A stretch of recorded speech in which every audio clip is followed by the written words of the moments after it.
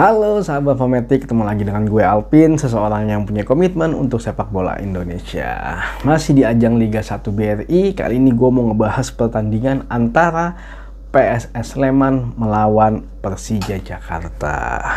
Kita lihat dulu performa mereka di pertandingan sebelumnya ya. Secara statistik, eh, PSS Sleman berhasil menang dari Bali United dengan skor 2-1. Kita lihat statistiknya penguasaan bola sebenarnya PSS Sleman kalah yaitu sebanyak 47% dan kesempatan menciptakan golnya mereka juga sebanyak 7 kali. Kalah jauh dibandingkan dengan Bali United yang sebanyak 16 kali. Tembakan ke arah gawang mereka hanya sebanyak 5 kali. Tapi memang penyelamatan penjaga gawangnya PSS Sleman tuh ada di angka 9. Jadi memang kemarin gua ngeliat performanya luar biasa itu Emre Ridwan uh, kiper dari PSS Sleman. Nah, kalau kita melihat operan yang berhasil juga PSS Sleman hanya melakukan 288 kali operan dan operan yang berhasil sebanyak 210 kali. Secara serangan mereka melakukan 98 kali serangan dan hanya melakukan 49 kali serangan berbahaya. Jadi memang di pertandingan ini gua ngelihatnya memang PSS Sleman uh, kalah ya dalam hal uh, penguasaan bola maupun dalam hal permainan. Dan yang, tapi yang membuat PSS Sleman menang itu adalah performa yang cukup apik kalau menurut gue dari penjaga gawang mereka. Jadi memang uh, Bali United banyak mendapatkan kesempatan dan Uh, kesempatannya bukan dibilang bukan kesempatan yang biasa malah banyak kesempatan emas tapi yang memang performanya tuh luar biasa dari penjaga gawang dari PSS Sleman. Nah, dengan performa yang sangat luar biasa ini sepertinya membawa kepercayaan diri dari pemain PSS Sleman. Dan salah satu faktor yang sangat berpengaruh adalah ketika masuknya Z Valente. Ketika Z Valente itu masuk, itu merubah serangan PSS Sleman. Nah, entah kenapa mungkin bagian dari rotasi ya, dia nggak dipasang sebagai starting line up, akhirnya dimasukkan di babak kedua dan baru dua menit dia sudah berhasil mencetak gol dan luar biasa. Golnya indah banget hasil kerjasama dengan kaptennya Kim Jeffrey Kurniawan. Dua kali one to one to wah luar biasa. Keren memang kalau akuin dan kalau gol keduanya PSS Sleman pun uh, dari titik ini ya tendangan bebas ya. Dan tendangan bebas uh keren juga gue ngeliatnya. Dan sepertinya memang kemarin performanya PSS Sleman adalah performa terbaiknya mereka selama satu musim ini kalau gue ngelihatnya ya memang yang jadi masalah adalah tingkat kestabilan. Nah, tapi harusnya PSS Sleman moralnya lagi naik ya mudah-mudahan mereka bisa menjaga itu dan mudah-mudahan berpengaruh positif di pertandingan mereka selanjutnya.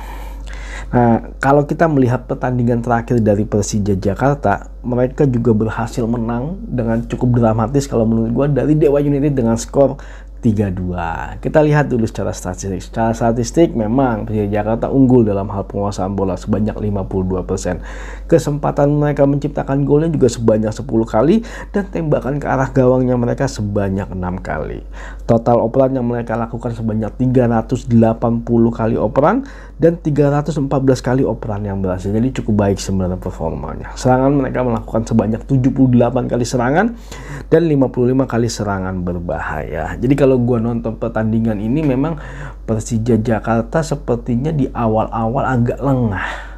Jadi uh, mereka dalam hal melakukan transisi negatif ya, walaupun mereka menyerang, mereka dalam hal melakukan transisi negatif, mereka kurang cepat kembali. Jadi uh, dua wingnya mereka cukup dieksploitasi oleh lini serangnya dari Dewa United dan Dewa United akhirnya berhasil menciptakan dua gol di babak pertama. Walaupun memang sempat diserin menjadi satu sama sama Persija Jakarta, tapi di babak pertama Dewa United unggul dengan skor 2-1.